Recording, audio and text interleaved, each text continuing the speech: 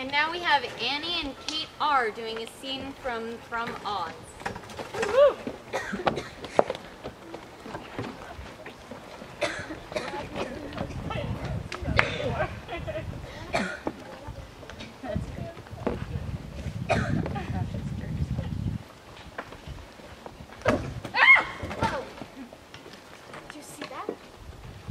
Dog almost killed me.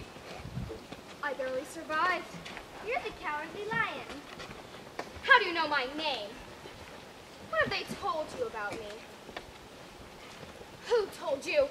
You've been following me, haven't you? No, I haven't. I've just, I've heard about you, that's all. FBI?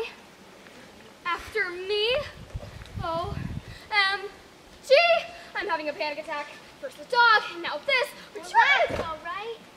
Don't come any closer.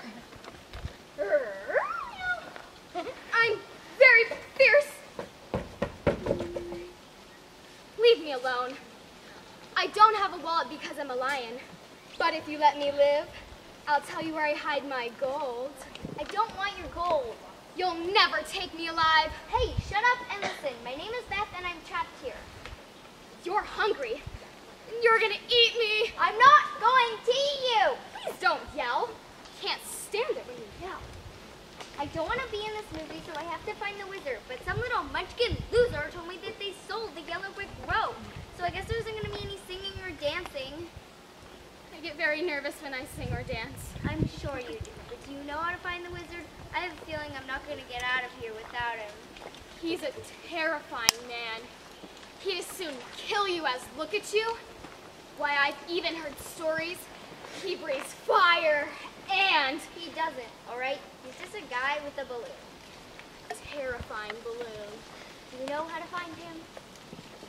Well, without the yellow brick road, we'd have to go through the field of deadly flowers. And from there, into the deadly forest. And from the deadly forest, over the deadly, gentle hill. we'll never make it. I'm gonna stay right here.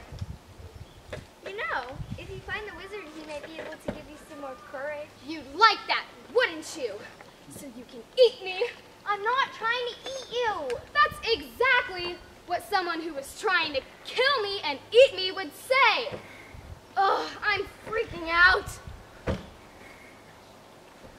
What's that blue thing over my head?